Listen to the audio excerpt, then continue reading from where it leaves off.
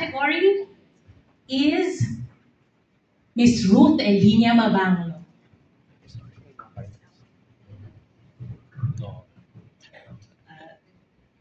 Dalawamput, dalawamput at dalawamput tatlong gawat na nilimiglan sa tula.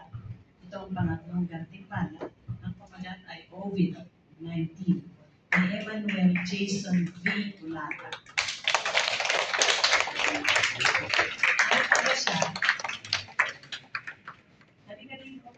Ah.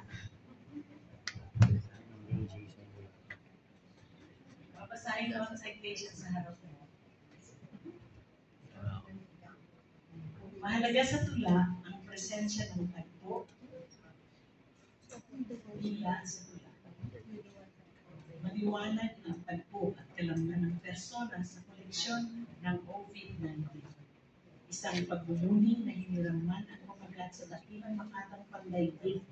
Tumatagos ang mensahe sa espesipiko nating kalamnan bilang bayan na kamarantina.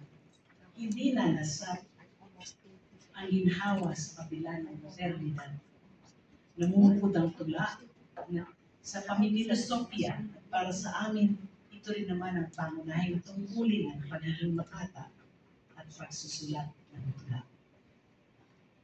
Congratulations on maligayang plans. Congratulations, Emmanuel Jason V. Walata, for your collection of poems entitled Ovid-19. Ovid. Ovid. Yan.